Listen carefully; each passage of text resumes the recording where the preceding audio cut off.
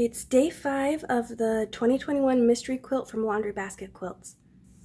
Today when I was cutting my fabric, I think I discovered a, uh, a slight error in the cutting instructions, and it might be fixed by the time you watch this video, but I thought I'd mention it anyway. The instructions on the blog tell you to cut 8 of the blue squares to cut into 24 half square triangles, um, but cutting 8 of these squares in half would just give you 16 half square triangles. So I cut 4 extra blue squares for a total of 12. And that should give me my 24 half square triangles. Then for color option B for the light fabric, it tells you to cut 8 squares in order to cut them into 8 half square triangles which is just extra cutting and extra scraps. So again, hopefully the cutting instructions will have been fixed by the time you watch this video, but I just thought I should talk about it just in case.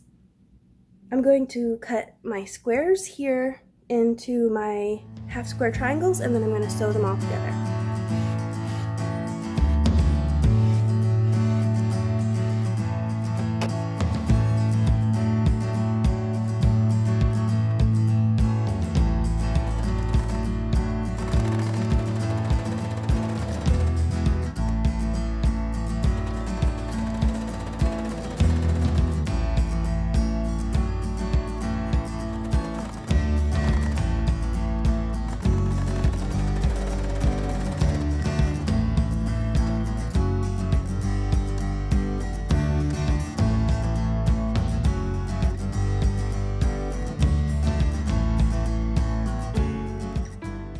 Are my little tiny half square triangles.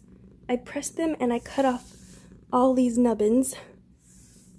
And now I'm ready to piece them into the block. And that's gonna look like this. So this is color option A, and this is color option B. So I'm just gonna take them to the machine and I'm going to assemble them like a four patch.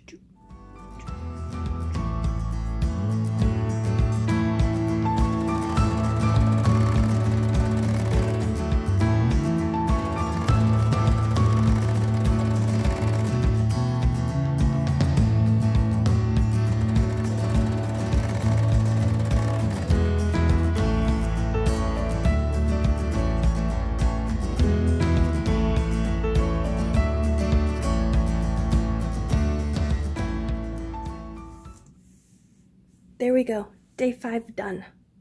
I've got eight of color option A and four of color option B.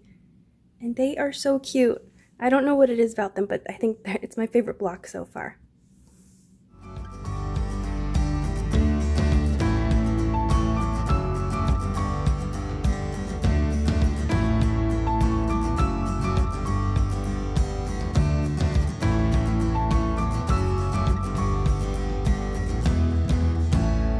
If you enjoyed this video, please leave a thumbs up or maybe a comment, and I guess I'll see you tomorrow.